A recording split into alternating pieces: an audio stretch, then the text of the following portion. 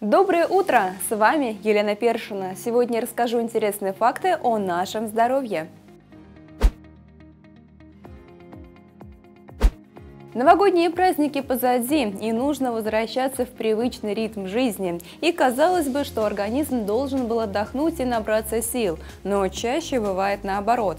Многие жалуются на отсутствие энергии, лишние килограммы и боль в теле. Взбодриться и привести свое тело в форму поможет йога.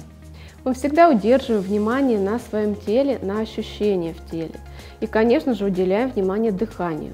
Необходимо слушать тренера, он всегда подскажет, когда нужно сделать вдох, когда выдох, и когда можно задержать дыхание и задержаться в определенной позе. Чаще всего, когда у человека болит спина, речь идет именно о пояснице. И если еще 20 лет назад боль внизу спины беспокоила преимущественно пожилых людей, то теперь и достаточно молодые пациенты обращаются к специалистам за помощью со спиной.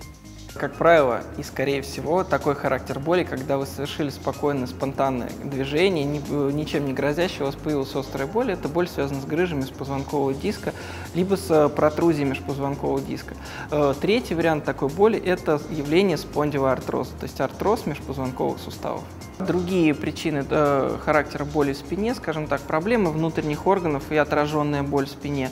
Какие-то онкологические заболевания тоже можно отнести к этому. Но там боль несколько другого характера, она постоянная. То есть она с э, подъемом, со спадом, но она постоянная.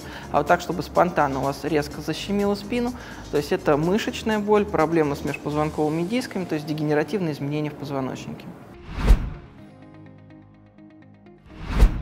Проблемы с питанием ребенка вызывают у родителей панику, поэтому они кормят чада потешками. Ложечку за маму, ложечку за папу, включают мультики и дают конфеты после обеда. Но зачастую это не признак проблем со здоровьем, а просто особенность пищевого поведения ребенка. Проблемы могут возникать, если у ребенка, например, отмечают психические заболевания или какие-то инфекционные заболевания, а также а, факторы, которые обеспечивают дискомфорт а, психологически ребенка. Это могли быть э, конфликты между родителем и ребенком, чаще там с мамой, потому что мама больше проводит времени. А ребенка принуждали кушать, у него не было, например, режима дня нормального, было много перекусов, где преобладают легко своим углеводы. А, или живой пример родители, а, один или несколько, ну, один или оба родителя, они обладают какой-то избирательностью в еде, или были какие-то а, пищевые, плохие пищевые привычки, и ребенок видит родителей и тоже ведет себя так. астенией, как говорят специалисты, однажды столкнется каждый. Врачи описывают данное состояние как недостаток энергии. Человек моментально устает даже от простейших, казалось бы, действий, например, от похода в магазин. Кроме того, а, существуют и сопутствующие признаки астении. У каждого человека они выражены по-разному. Ну, например, это снижение памяти, когда какие-то события, планируемые, текущие события, цифры вылетают из головы человека прямо очень быстро, и это создает достаточно большую тревожность для человека. Это может, может быть снижение концентрации внимания, когда человеку трудно сосредоточиться на рабочих задачах, ему трудно, например, вести переговоры, читать лекции, делать домашнюю работу со своим ребенком.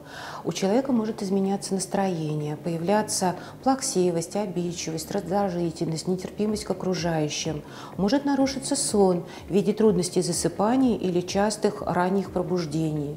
Появляются постоянные головные боли, сжимающего характера, которые не купируются никакими анальгетиками. Могут быть синдромы э, острого вирусного заболевания, причем человек не болеет вирусной инфекцией. Ну, например, небольшая температура тела суфибрильного характера 37, 37,1, 37 7,2 э, градуса. Это может быть боли в суставах, боли в мышцах, боли в горле, какие-то покашливания. Кроме того, э, отмечается утомляемость при обычных совершенно физических нагрузках. У каждого человека тот или иной синдром, он выявлен по-разному. Ну и, соответственно, лечение и дальнейшая профилактика зависит от того, какой синдром в данном случае превалирует.